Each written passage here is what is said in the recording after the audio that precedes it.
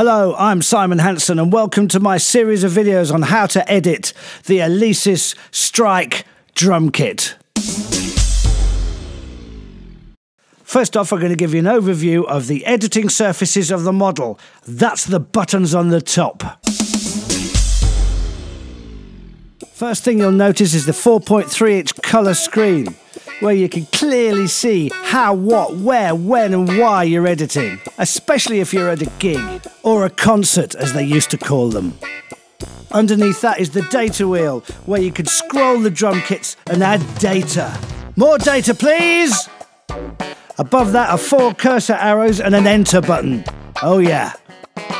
To the left of these are 12 real-time faders or sliders, letting you individually edit each voice or instrument. You can have a louder bass drum or a louder snare at the touch of a finger, button, slider, fader.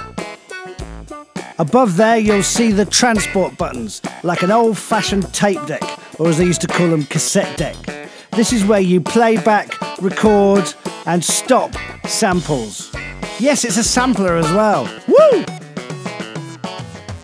Above the transport buttons are the eight edit buttons, divided into two sections. One section is the utility section. This is where you can start the metronome, set the tempo for the metronome, go into utility mode, which affects global aspects of the unit, and you can also save your drum kits. When you alter a preset kit or you import a kit as a sampled kit, you can save them on an SD card. The unit comes with an 8GB SD card, but you can take that out and put one in up to 64 gigs, so there really is no limit on how many kits you have. No limit. No limit. The other six edit function buttons sit on the top left with a white line and the word edit between them. Notechase, a wonderful system. Whilst this is activated, it allows you to hit a drum and the edit page for that drum will appear. When this is deselected, that page will stay and you can still hit other drums. You'll learn how brilliant that is. Mixer lets you see a digital representation of the sliders in digital form and backlit for gigs or concerts.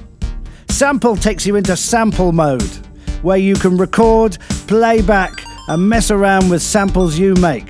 Kit FX is where you choose the effect which will go on each kit. There's a choice of two, and as Alesis are the absolute kings of digital effects, you know they're going to be good. Voice is where you can go in, edit, choose the type of sound you want to come out of the drum, choose the pitch, choose everything, choose life, choose everything.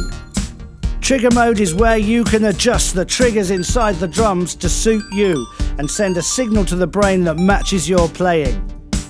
Underneath the LCD screen are five function buttons, numbered F1 to F5, with F3, 4 and 2 in between.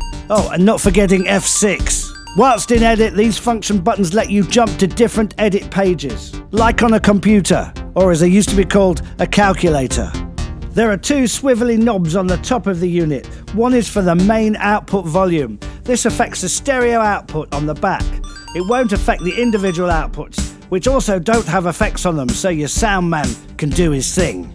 The other one is the aux input. This is where you can input audio for samples. It's also where you can put a cassette on, or a tape, or a CD, or an MP3 and play along to it. You can also record yourself playing along to yourself if you've recorded yourself to play along to yourself. And last and by all means least, there's a headphone socket. A good sized quarter inch jack professional headphone socket with its own independent volume. You can also have the click only come out of the headphone and not out of the outputs. Loving that. So that's what everything does on the button front. See you soon.